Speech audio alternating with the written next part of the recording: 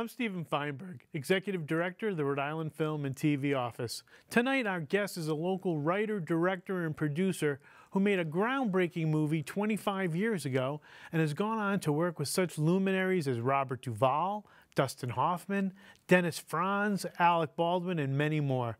It is my pleasure to welcome Rhode Island native and filmmaker Michael Corrente to the table of double feature. Great to see you, Michael. Same here, Steven. So you've been like traveling back and forth, Los Angeles, Rhode Island, New York. New York, yeah. and now you're you're home because you're working on something. I am. I'm home for the uh, foreseeable future, uh, based on things that are that are happening right now. That are cooking. You've got some that stuff cook, cooking. Yeah, cooking. There you go. um, so, Michael, let's just uh, give the audience a little sense of your background. You're sure. from Pawtucket, right? Yep. And you were raised in Pawtucket? I was raised in Pawtucket and then moved to Coventry. Yep. Went to high school in Coventry. And although it seems like I spent most of my life there, it was only four years. And, you know, then moved uh, away to New York and uh, sort of got started from there. And did you always know you wanted to get into theater, film? Because I know you you dived a little bit into Trinity Theater. Yeah, yeah, that's how it started in high school in Coventry. An English teacher, Miss Marciano, actually.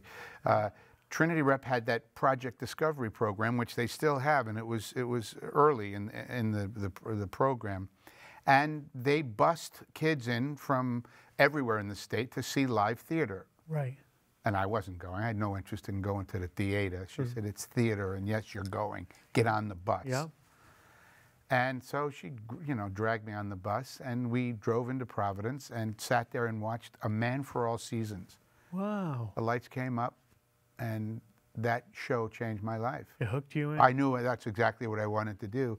Back on, on the way home in the bus, she, she came over and said, what did you think? I said, yeah, that was all right. She said, "Oh, you didn't like it?" She she know. Yeah. I said, I, "Well, it was okay, but I could I could never do anything like that." She said, "Why couldn't you? Everybody on that stage got an education. You could do it." Lo and behold, four years later, I was at school at Trinity Rep in the conservatory. Were you interested in the acting part or All directing? I started out interested in acting and did well until, um, interestingly enough, my acting teacher, Larry Arrick, said, uh, I started reading all these plays, Strindberg, Chekhov, Shakespeare, and I thought, oh no, this really isn't for me. And Larry Arrick handed me a play and he said, here, read this. I said, a Western? He said, no, dummy, just read it. It was a play called American Buffalo. True story. By David Mamet. By David Mamet. Who would have thought, however many years later, I'd go on to direct that movie in Pawtucket with Dustin Hoffman. Wow.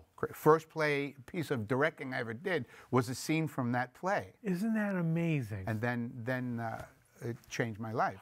Let's talk about Federal Hill. Sure. It started out as a one-act play, uh, and then I it became a two, uh, two-act play, a full-length play called Not for Nothing. Yeah. And then I decided to, through encouragement from a bunch of people, uh, turn it into a screenplay called Federal Hill.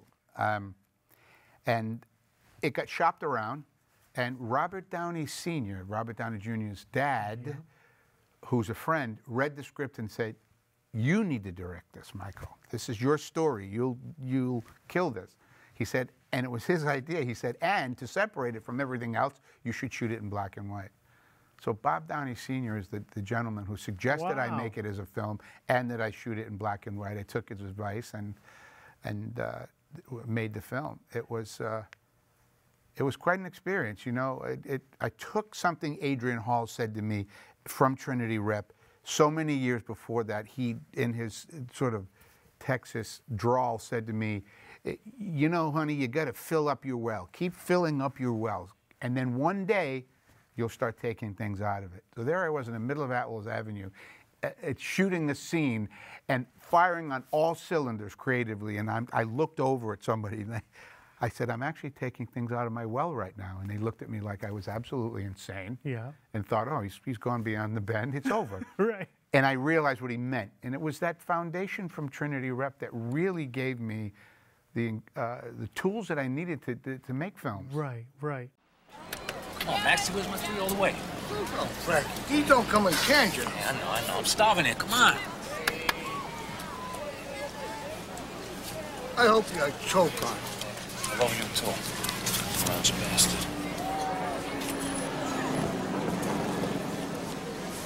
Frankie, how do you eat those things? What's talking about? It's the best. Ralphie's. He's a friend of mine. Yeah, I know that. But I want to know what his story is. He works laying bricks with his uncle and his father, the Carbones. You know. Ralph's a little crazy, but he- he's a good kid. Don't fucking lie to me, Frankie. Don't ever lie to me. Ralph Carbone's a thief, you know that. I, I, all right, he, he whacks the house once in a while, but you don't tell me about it. I'm not with him all the time. This kid's way out of line, Frankie. I'm trying to tell you something. I want to have a talk with him, and I want you to get him here as soon as possible. Okay, Dad, whatever you say. You you started to understand your tool chest. Yes. And I, the foundation for, for me in any film that I've ever written or directed or produced is about the characters Yep. and, and about telling the story as honestly as you can. Now on a film like that, because you had a pretty much it was a micro budget, right? 80,000. Eighty thousand. So did you spend a lot of time rehearsing beforehand, so you weren't spending the money with all these people working with you, and maybe a lot of them were volunteer crew. I don't know where you were. Eighty thousand dollars is not much money to make a movie. Everybody got paid, believe it or not. Um, Yep. And we shot it in 35 millimeter black and white. But to your point, rehearsal was essential. I was living in Manhattan, and we rehearsed for five weeks in New York, four days a week, five hours a day in my apartment, the whole cast. And then prior to shooting, I brought the entire cast of all those guys, put them in one apartment over in Fox Point. They all lived together Yeah. and we rehearsed on every location every day. So when it came time to shoot the movie, Yeah. the cinematographer was like, "Okay, ready, let's go." So we do a take, and it was perfect because these guys have been rehearsing for eight weeks, That's fantastic. and it helped a lot. And and your cinematographer was he also part of the rehearsal working? Uh, when we got to Rhode Island, Richard Crudo, who shot most of the films I've made, Yep. uh, was on the set every day.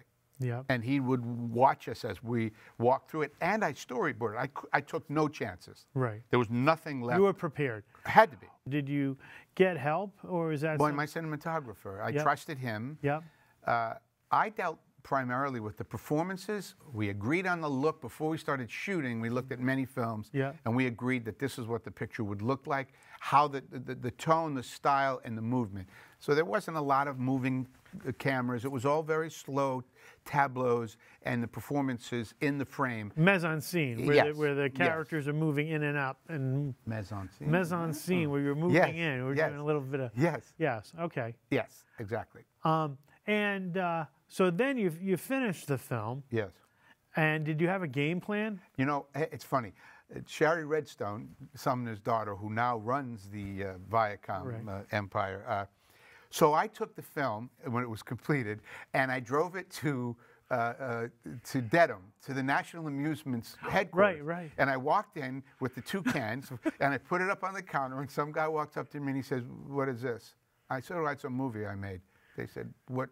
Studio, who are you delivering it for? I said, No, actually, I made it. I'd like you guys to see it. In my dopey head, I thought, Well, the showcase cinemas, they show movies. They'll look at my movie and they'll show it. So the head booker comes out, Judd Parker. He says, Kid, what are you nuts? We don't- that's not how it works. Got to come through a studio. Get him out of it. In the background, I see Shari Redstone. Just happens to be. She there. just happens to be walking by. She's running the place or uh, involved. Shari comes over and she says, Judd, what's the situation? What's the problem? And he says, ah, this guy made a movie from around here and it's on 35 million. Shari said, Judd, look at one reel. What could it hurt? throw it up. What could it hurt? Take Yep. a look at it. Judd was like, ah, leave the film. I'll take a look.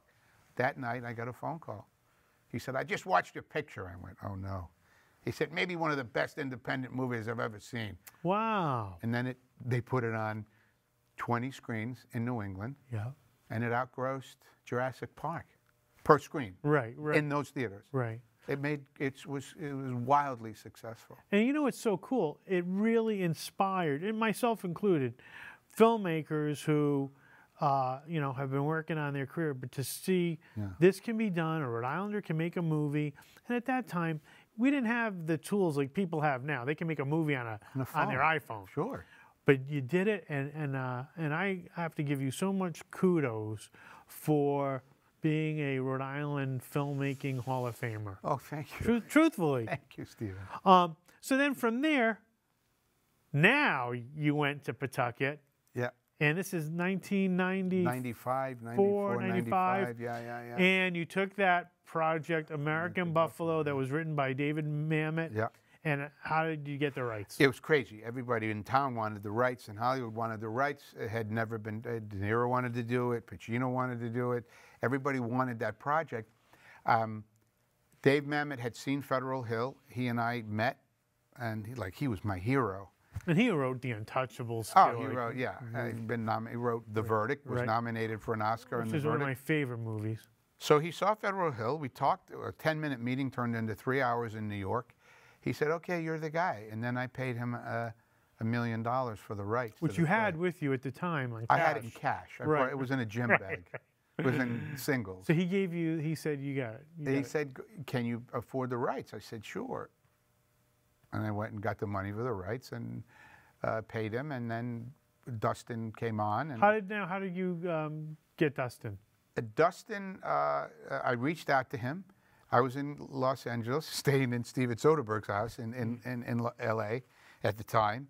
And uh, Dustin had, like every other actor in, uh, in Hollywood, tracked the role of Teach in American Buffalo. Turns out some dopey guy from Rhode Island ended up with the rights. He saw Federal and said, Oh, this is an interesting movie, Michael. Right. I'll play that part. And so I met with him and uh, he said, uh, let's do it. He said, can we shoot it in LA? I said, no. He said, what do you mean no? I said, no, we're going to shoot it in Rhode Island, in Pawtucket, Rhode Island. Yeah. We call it the bucket. Right. He's like, what does that mean? I said, well, you'll see. So he came to Rhode Island and uh, we shot uh, American Buffalo right there by the old Leroy Theater. I met him in L.A. a few years ago, and I said, "Oh, Dustin Hoffman, you did American Buffalo in Pawtucket." He goes, "It's Pawtucket." Paw- It's Pawtucket, exactly. so Dustin Hoffman, who actually has a reputation of sometimes being difficult, Yeah. but uh, you know, like in Marathon Man, apparently he Yeah. got so absorbed in his character he didn't sleep for days. And Hmm. Laurence uh, Olivier said, uh, "My boy, why don't you just act?" How was Dustin Hoffman? Because I'm a big fan of his work. Yeah. How was he to work with? And um, did he like to rehearse? Not rehearse? Dustin uh, liked rehearsing. We did a lot of read throughs. We did a lot of rehearsing. Uh, Dennis Franz also liked to rehearse because Dennis came out of the theater. You know, I've heard horror, st- horror stories about Dustin and Alec Baldwin and Ro- Bobby Duvall and all. Never had a problem with Right, any of right. them.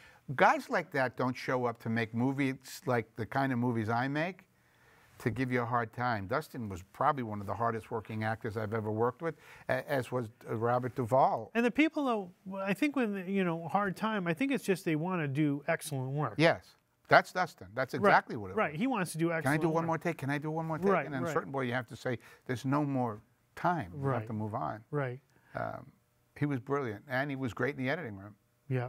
Gives you a lot of different Oh, options. yeah, yeah, Would he ask for uh, an extra take and try to give you something different? Oh yeah, Always trying. yeah. We had it. What was said? It would say it right on the slate. The roof falling in scene. Because I would say to him, Dustin, this is the last take. I, I don't care if the roof falls in. Oh, okay. And then they would put it right on. Roof falling in take. That meant we weren't doing anymore. Is there anything you learned by working with him? With Dustin? Yeah. Oh, yeah. About your own craft of Yeah, as, yeah. as a Dustin director? was all about being specific. Be specific, as specific as you possibly can, because it, it makes an actor uh, stay in the moment. Did he um, like to get a lot of direction or a little direction? He would take whatever he could get. Dustin was uh, just take it all in. He really Yeah. wanted to do the best he possibly could. There And was- Dennis Franz, same thing? Well, Or Dennis he different? Franz. Well, Dennis Franz was a different story. Like Dennis Franz was from Chicago. Dennis Franz grew up in the theater with Dave Mamet. Right. Dennis Franz opened his mouth. He could have been talking in his sleep, and I would have photographed it with that particular role. As Right. Donnie, Right. he, you know, he, he just couldn't screw up. He was, Yeah. he was perfection in that Right. role. That was, That was Donnie. right. What makes you such an authority on life all of a sudden? My life, Don, and the way I've lived it. Get teach an English muffin. I don't want an English. Get him an English muffin and make sure they give you the jelly. I found a nickel. I like it because of the art on it. Uh huh. Because it looks like something. Is this worth anything? You don't want me to do the job? Not now. We aren't gonna do it now. You tell me when you want me to do it. I don't know that I want you to do it at this point. So what was this thing with the kid? I mean, is there anything, uh... No, it's nothing, you know. You want to tell me what this thing is? And what about the thing? The thing? Yeah. No, it's nothing. Oh, You know. no, I don't know. What is it? So Di- It was so- made. It was yeah. written for him, right? Dennis would go bapa da bapa da bapa beep with a boom and cut, and I'd be like, okay. That's great. And they'd say, you want to do another take? And I'd say, We're no. good. And Dustin would be like, you sure you don't want to do one more take? I got it, Dustin. How come he always gets it in one shot? All right. On that laugh, let's go to outside Providence. Yeah. Because now you are working with the Farrellys, who are your longtime friends. yeah, we, we started with Outside Providence before I made Federal Hill and before they made Dumb and Dumber. I picked up the book Outside Providence in the Hamptons where I was living on the dollar a book shelf. For a buck, you buy a book. I saw Outside Providence. I bought it. I read it. I thought this is a movie. Yeah. I hadn't made any movies. Pete Yeah. and Bobby hadn't made any movies. I Yeah. called, got Pete Farrelly in L.A. He said, "Yeah, yeah, sure. You can have the rights for a dollar. Take it. Go make the movie." I said, "Okay, but I got to make this movie first, called Federal Hill." He said, "Yeah, we got to make a movie called Dumb and Dumber." Now think about that, Steven. These three knuckleheads, me, Pete, and Bobby, talking about, "Oh, I have to make this movie before we can make that, That movie." movie. The odds of that happening are astronomical. The fact that we both made those films, then I made American Buffalo, they made Kingpin, and then finally we said, we have to do Outside Providence. And And this is a book that Peter wrote. a book called Outside Providence, yeah. And and um, Then we adapted it to Yep. the screen, me, Bobby, and Pete, Yep. and Mike Cerrone. yeah. And then, uh, then uh, I, once the script got uh, finished, we went to Paramount and they said, okay, we'll make it. And then they put it on the shelf, and I knew they were going to do that. So I raised enough money to take it off the shelf and raised the money to shoot it and shot it all here, as you know, at URI and at the Armory. And, and that's where you and I met at the That's right. Armory. I remember you giving me a tour while you were doing. yeah, yeah. Raising money uh, in between takes. I don't recommend that. thing. No. no. It was insanity. Yeah. Uh, and and how was that? That was when you worked with Alec Baldwin for the The first, first time, yeah. Yeah. How was he to work with? Alec Baldwin was an absolute peach at, at- at both times I've worked with him. Yeah. Uh, he, you know, he knows more about filmmaking and the craft and the art of acting than most actors forgot. Yeah. Or he forgot more than most actors know, I should say. Uh, he was just amazing. He would see me in the weeds and he would say, I know you need a two shot and I know what you're trying to get. Why don't I just turn this way? I'll, I'll look down the barrel of the lens, then you can just adjust this way and you can get a two shot and a single at the same time. And I'd be like, well, yeah, what he said. And Isn't that great though too? I mean, there's a guy who understands, and you being also open to the Yeah. art of collaboration. Oh, yeah. That this is a collaborative medium. Oh, yeah. And that. Um, because I was talking to another director who uh, told me he was on a project. And he goes, Steve, I was stuck. Sure. I was stuck, but thank God he was working with Glenn Close. Yeah. And Glenn Close was, well, why don't we just like totally remove the table? Yeah. And then we, and he was like, okay. can we do that? can we do that? And he realized it took the pressure off of him, course. knowing that he had a pro working with him. And no, no one person makes a movie by themselves. Right. Unless you're in the woods photographing a tree. right, exactly. But still, you need to get it processed and you need it anyway. Alec Baldwin was amazing in both films that I, I worked on with him. He, he, you know, he, he was just fantastic. Yep. And, he then- was great in Outside Providence. I mean, that role Oh, for him yeah. at that point in his career, a lot of people noticed his work in that. He, he, he was heartbreaking. You know, and then he he is one of those guys that can cross genres. I mean, Oh. he could be in Outside Providence, oh. then he could be doing the Tina Fey, Yeah. then he can go into Mission Impossible. yeah, yeah. And he- yeah, he's phenomenal. After that, you went to Scotland, isn't that I, the I next went move? to Scotland, yeah, after Outside Providence, made a movie with Robert Duvall in Scotland about a, so, he played a soccer, a Scottish soccer coach, older uh, gentleman, uh, uh, uh, late in his career, the, the Scottish soccer coach. a, shot uh, at glory, right? That's A shot at glory, yeah, Yeah. a- a- and it was an opportunity for me. I loved soccer growing up, and uh, I, you know, an opportunity to work with Duvall was How? I mean, he's one of the, he's amazing, amazing. He, he's another one who. Uh, the best. I mean, really. Is Yeah, there- there's no- Bobby's the first one on the set, the last one to leave. Another one at his age. Let's go. Let's do another one. Come on, you know. uh, It's funny, you know. I heard the stories from Dustin about because Dustin Hoffman and Robert Duvall were roommates. And Gene Hackman. And Gene Hackman, well, they were separate. Right. Dustin lived with Gene and Du- uh, Dustin lived with Bobby. Uh, but uh, the, the, the stories were incredible and they were uh, remarkably the same. right. And I've been lucky, you know, to have to work with a guy like Duvall, who's, who's another one who just, it's all about the work. It's about the characters.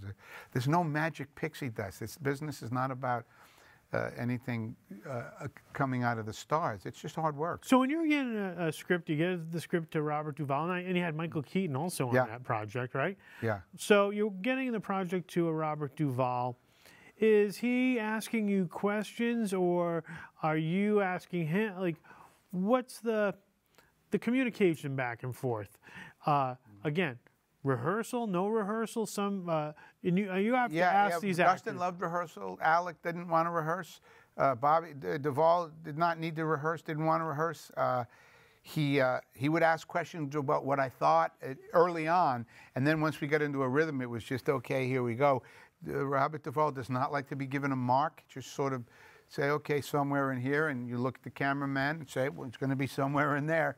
It- So you have know, to be flexible Yeah, with with, Robert with, with Duvall. Robert, Robert Duvall, yeah, he, he doesn't like marks on the floor. He, he wants to take as much of the mechanics as he can out of it and try and keep it as natural as possible. Yeah, and so he's organic. Very organic and funny, very funny. And are you um, are you? Uh, does that change how you work as a director when you're dealing with? some- Sure. Tell me about that. Yeah, yeah. You, you, you know, you, it's, it's just like acting. You're only as good as the person sitting across from you.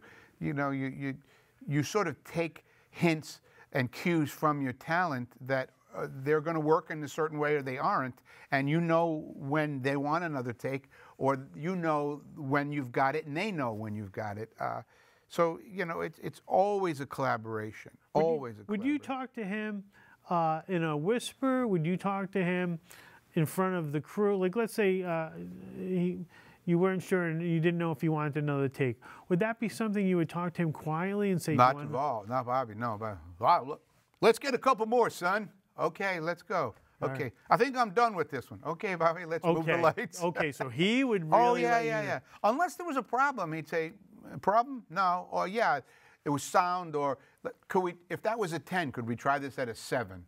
Got it. Okay, sure.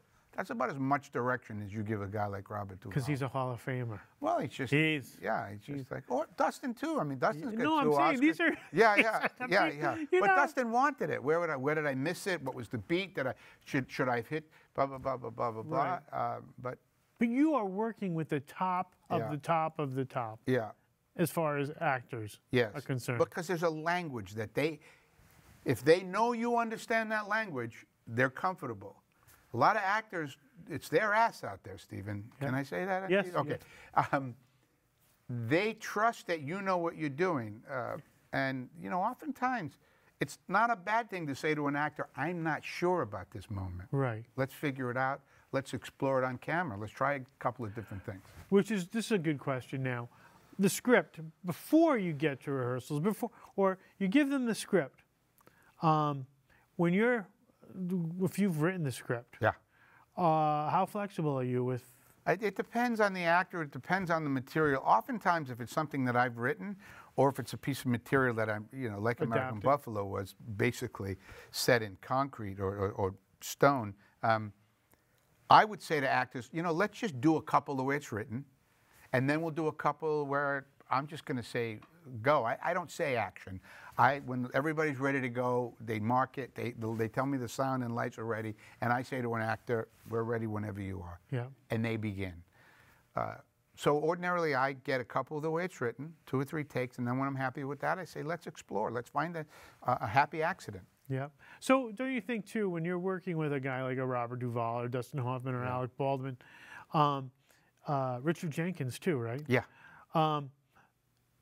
You've cast these wonderful people. Yeah. You want them to, you want them to do their biz, Of their course. work. You Yeah. want, you've hired Yeah. them, and they are professionals. They Oh. are the best. So you want to let them Let them go. let them go. It was like Mike Cerrone in Outside Providence. Ev- Everybody was like, "Are you sure he could play Kavich?" And I would say, "Trust me, this guy can do it."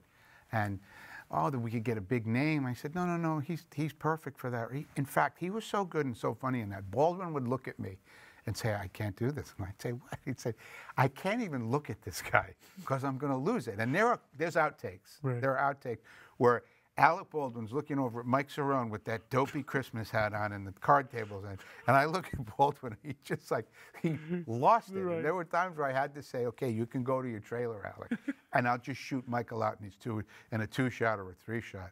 He was, he was so good. Right. It was, That's fun. anyway. I mean, you- and you're having fun too. I mean, Oh, that's that's yeah. key, right? Well, and- and working with Pete and Bobby Farrelly. Yeah. Well, you know them. Yep, they, yep. they do not get any sweeter than that. and they do pranks. They do pranks and that, but I, I mean, it, they're, they're they're just the sweetest, They, most honest. I think guy. Bobby gave me a pen. He goes, "Oh, Steve, will you sign? Uh, give me your phone number and sign." The the, the pen was electric. Of course it was. but how about Pete right now? Golden Anyway, Globes. Yeah, Golden Globes. Hey, great work, those guys. The the, the Green Oh. Book. Um, so then you did Brooklyn Rules. Yeah. You also did Brotherhood. Uh, uh, Yeah. You did an episode with um, Jason Isaacs, Jason Clarke. We filmed that here in Rhode Island. Yeah. How was that? Uh, oh, I loved that. you It was jumped my into first, That was my first foray into television, and uh, I loved it. And, you know, it's interesting. Everybody says, "Oh, TV and film is different." No difference, as far as I'm concerned, Mm-hmm. because of the way I make movies, Steven. It's independent film. Same thing with television. You shoot six, eight pages a day in an independent film. You do the same thing in television. So, I enjoyed it. I loved working with those people. One camera or two on on on. Uh, I, on there, were, they, there were a couple of cameras if you needed them, but you know, predominantly single camera. Um, Do you prefer using one camera or two? yeah, it, it depends. I mean, it, it's good to have the extra camera body if you need it, and it can s- save time. Like, if we're shooting you in a scene like this, I just as soon have you in a wide and a medium, Right. if I could. It, Yeah. it, it saves some time. I tell you what, though, one of the more gifted actors I've ever worked with was that Jason Isaacs. Yes. Amazing, Yeah. scary talented. Yeah. Smart. Oof. Very But keen. just Yeah. reminds me a lot of working with Alec. yeah. Very. Just so smart and can do comedy and drama and just the, the turning by turning around. It's amazing. yeah. He, he is a smart, one of the smartest guys I've yeah. ever met. Yeah. Um, you're now working on a, di- a new project, Yes. right? What, uh, Well, about five years ago, uh, uh, I go back and forth with Steven Soderbergh a lot. We've known each Steven other for Soderbergh, who 25 did Erin years. Brockovich, Yeah. Sex Lies and Videotape, the Ocean's Eleven movies, and Got the Oscar for The, uh, Traffic. and, Yep, Traffic, right. Yeah, um, and known him forever since Federal Hill. And he told me five years ago, get into TV. The stories you want to tell and I want to tell belong on that screen. And I, I thought about it and then I realized he was right. Rather than try and jam everything into 90 minutes or 120 minutes, take one, two, three, four seasons to tell the story you want to tell. So I started writing television, and uh, I wrote something that I handed to Steven, a pilot, and created it. And he went nuts over it and hired me, him and his partner, Philip Fleischman, hired me to go on and write the rest of the episodes, which I did with another writer, Greg Poirier, and a great writer. And um, and you have ten episodes now. we have eight episodes, episodes. completed. The series is ready to go, and uh, can't really get into too much detail, but it's a, another Rhode Island story that would shoot here. and we're looking forward to that too. And um, how does it feel being able to explore the characters because you're not confined to that? Oh, it's a, it's just a blessing. It's so much fun, Steven, to know that you can just develop these these characters and not have to, oh no, I've got to jam them into the second act of this movie, and then resolve it in the third act, and it's over. You can just let them unfold. And the story is about Rhode Island. It's about Providence. It's about the people that I know and grew up around, and composites of all of them. And as you and I both know, here in Rhode Island. Those stories are endless. that is true. They just go on. Only in. Rhode Island. Only in Rhode Island. They go on forever. Well, I want to thank you so much for uh, joining us uh, for Double Feature, and I want to wish you a lot of success on the new show and the best of health always. Thank you, Steven. Thanks, pal. Thank you.